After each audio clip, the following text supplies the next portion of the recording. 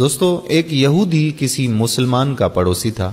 اس یہودی کے ساتھ اس کا مسلمان پڑوسی بہت اچھا سلوک کرتا تھا۔ اس مسلمان کی عادت تھی کہ وہ ہر تھوڑی دیر بعد یہ جملہ کہتا تھا کہ حضرت محمد صلی اللہ علیہ وآلہ وسلم پر درود شریف بھیجنے سے ہر دعا قبول ہوتی ہے اور ہر حاجت اور مراد پوری ہوتی ہے۔ جو کوئی بھی اس مسلمان سے ملتا، وہ مسلمان اسے اپنا یہ جملہ ضرور سناتا۔ اور جو بھی اس کے ساتھ بیٹھتا، اسے بھی ایک مجلس میں کئی بار یہ جملہ مکمل یقین سے سناتا تھا کہ حضرت محمد صلی اللہ علیہ وآلہ وسلم پر درود شریف بھیجنے سے ہر دعا قبول ہوتی ہے اور ہر حاجت اور مراد پوری ہوتی ہے۔ اس مسلمان کا یہ جملہ اس کے دل کا یقین تھا۔ اس یہودی نے ایک سازش تیار کی تاکہ اس مسلمان کو ذلیل و رسوا کیا جائے۔ اور درود شریف کی تاثیر پر اس کے یقین کو کمزور کیا جائے اور اس سے یہ جملہ کہنے کی عادت چھڑوائی جائے۔ یہودی نے ایک سنار سے سونے کی ایک انگوٹھی بنوائی اور اسے تاکید کی کہ ایسی انگوٹھی بنائے کہ اس جیسی انگوٹھی پہلے کسی کے لیے نہ بنائی ہو۔ سنار نے انگوٹھی بنا دی۔ وہ یہودی انگوٹھی لے کر مسلمان کے پاس آیا۔ حال احوال کے بعد مسلمان نے اپنا وہی جملہ اپنی وہی دعوت دہرائی کہ حضرت محمد صلی اللہ علیہ وآلہ وسلم پر درود شریف بھیجنے سے ہر دعا قبول ہوتی ہے، ہر حاجت اور مراد پوری ہوتی ہے۔ یہودی نے دل میں کہا کہ اب بہت ہو گئی، بہت جلد یہ جملہ تم بھول جاؤ گے۔ کچھ دیر بات چیت کے بعد یہودی نے کہا کہ میں سفر پر جا رہا ہوں۔ میری ایک قیمتی انگوٹھی ہے، وہ آپ کے پاس امانت رکھ کر جانا چاہتا ہوں۔ واپسی پر آپ سے لے لوں گا۔ مسلمان نے کہا کہ کوئی مسئلہ نہیں، آپ بے فکر ہو کر انگوٹھی میرے پاس چھوڑ جائیں۔ یہودی نے وہ انگوٹھی مسلمان کے حوالے کی اور اندازہ لگا لیا کہ مسلمان نے وہ انگوٹھی کہاں رکھی ہے۔ رات کو وہ چھپ کر اس مسلمان کے گھر کودا اور بالآخر انگوٹھی تلاش کر لی اور اپنے ساتھ لے گیا۔ اگلے دن وہ سمندر پر گیا اور ایک کشتی پر بیٹھ کر سمندر کی گہری جگہ پہنچا اور وہاں وہ انگوٹھی پھینک دی اور پھر اپنے سفر پر روانہ ہو گیا۔ اس کا خیال تھا کہ جب واپس آؤں گا اور اس مسلمان سے اپنی انگوٹھی مانگوں گا تو وہ نہیں دے سکے گا۔ تب میں اس پر چوری اور خیانت کا الزام لگا کر خوب چیخوں گا اور ہر جگہ اسے بدنام کروں گا۔ وہ مسلمان جب اپنی اتنی رسوائی دیکھے گا تو اسے خیال ہوگا کہ درود شریف سے کام نہیں بنا اور یوں وہ اپنا جملہ اور اپنی دعوت چھوڑ دے گا۔ مگر اس نادان کو کیا پتا تھا کہ درود شریف کتنی بڑی نعمت ہے۔ یہودی اگلے دن واپس آ گیا۔ سیدھا اس مسلمان کے پاس گیا اور جاتے ہی اپنی انگوٹھی طلب کی۔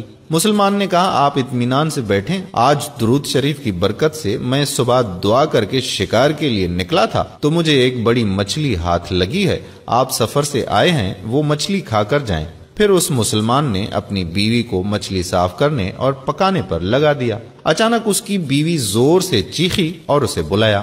وہ بھاگ کر گیا تو بیوی نے بتایا کہ مچھلی کے پیٹ سے سونے کی انگوٹھی نکلی ہے۔ اور یہ بالکل ویسی ہی ہے جیسی ہم نے اپنے یہودی پڑوسی کی انگوٹھی امانت رکھی تھی۔ وہ مسلمان جلدی سے اس جگہ گیا جہاں اس نے یہودی کی انگوٹھی رکھی تھی۔ انگوٹھی وہاں پر موجود نہیں تھی۔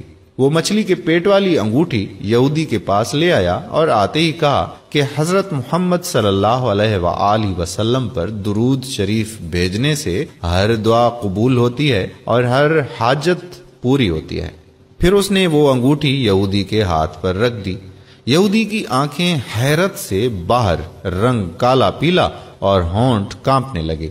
اس نے کہا کہ یہ انگوٹھی کہاں سے ملی؟ مسلمان نے کہا کہ جہاں ہم نے رکھی تھی، وہاں ابھی دیکھی تو وہاں تو نہیں ملی۔ مگر جو مچھلی آج شکار کی، اس کے پیٹ سے مل گئی۔ معاملہ مجھے بھی سمجھ نہیں آ رہا، مگر الحمد آپ کی امانت آپ کو پہنچی اور اللہ تعالیٰ نے مجھے پریشانی سے بچا لیا۔ بے شک حضرت محمد صلی اللہ علیہ وآلہ وسلم پر درود بھیجنے سے ہر دعا قبول ہوتی ہے اور ہر حاجت و مراد پوری ہوتی ہے۔ یہودی تھوڑی دیر کانپتا رہا، پھر بلک بلک کر رونے لگا۔ مسلمان اسے حیرانی سے دیکھ رہا تھا۔ یہودی نے کہا کہ مجھے غسل کی جگہ دے دیں۔ غسل کر کے آیا اور فوراً کلمہ طیب اور کلمہ شہادت پڑھنے لگا۔ اشہد اللہ الہ الا اللہ وحدہ لا شریک اللہ و اشہد ان محمد عبدہ و رسولہ۔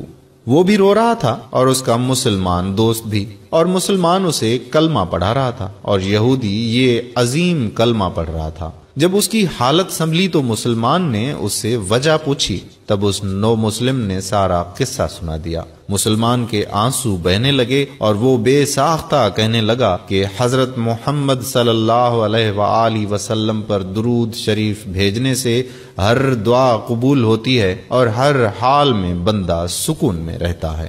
سبحان اللہ دوستو، امید کرتے ہیں کہ ہماری آج کی یہ ویڈیو آپ کو ضرور پسند آئی ہوگی۔